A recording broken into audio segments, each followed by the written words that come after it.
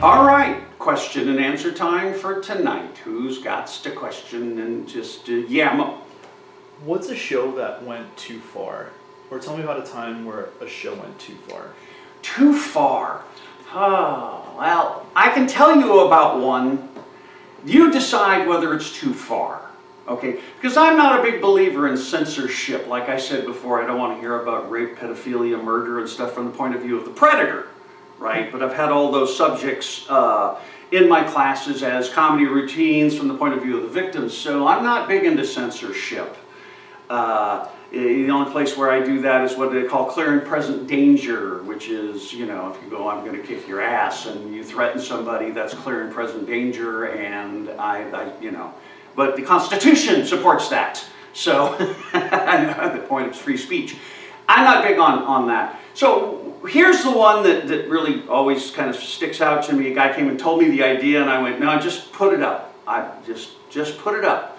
So, he came in the next week, okay, with a naked little baby doll, completely naked, and then covered with blood red uh, uh, fingernail polish all over it, just blood red, blood, these, these eyes, you know, the ones that kind of wiggle around and stuff pasted on it.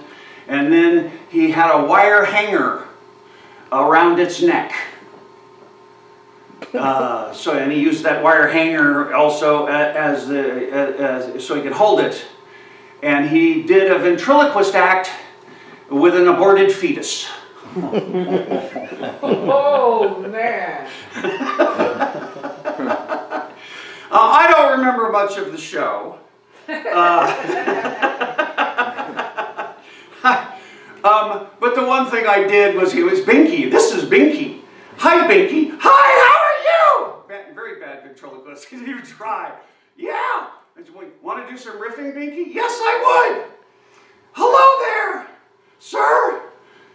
Are you my dad? Are you my dad?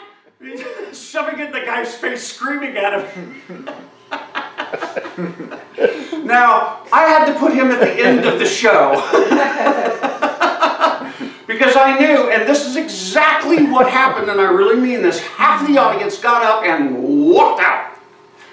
And the other half pounded the table, foreheads hit the table, drinks spilled because they were laughing so hard, screaming, crying. They were just, you know, they just thought it was the funniest thing they had ever seen in their entire lives. These people were just howling for the whole three minutes that he did that particular piece.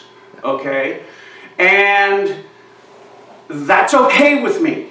That was a, that's an okay show with me. Because I'm one of those that was laughing. uh, you know, I thought it was hysterical. Uh, but it, it crossed that hurt line for a lot of people. And after the show, some old, old, older lady came up to me and said, well, how could you let something like that be so offensive in one of your shows? I said, well, first of all, we got this little thing uh, called the Constitution. You know, and so, uh, yeah, and uh, you have a right to be offended, and you have a right to tell me you're offended. So I hear you. I hear you're offended. Oh, Robert is uh, right over there at the bar. Uh, go over and tell him. and she did. And you saw him talking back and forth. Pretty soon he's buying her a drink, and they're sitting down and chatting. He's the nicest guy in the world. He's a really sweet guy. He just kind of had a sick sense of humor. So the idea here is, is don't let anybody else tell you what you can and cannot perform. Because if uh, Andrew Dice Clay had listened to people, if Andy Kaufman had listened to people, if Sam Kinison had listened to people who, you know, Sam, I knew Sam fairly well, performed a lot at the Westwood Comedy Store. I don't know how many people told me, you, you shouldn't shout at an audience. he didn't listen to them. Andy Kaufman did his stuff, you know, Dice Clay all the, these people came up with something really original and, and, and, they had their own audience. They have the audience that love them and the audience that doesn't love them. Well, grow up. That's going to happen.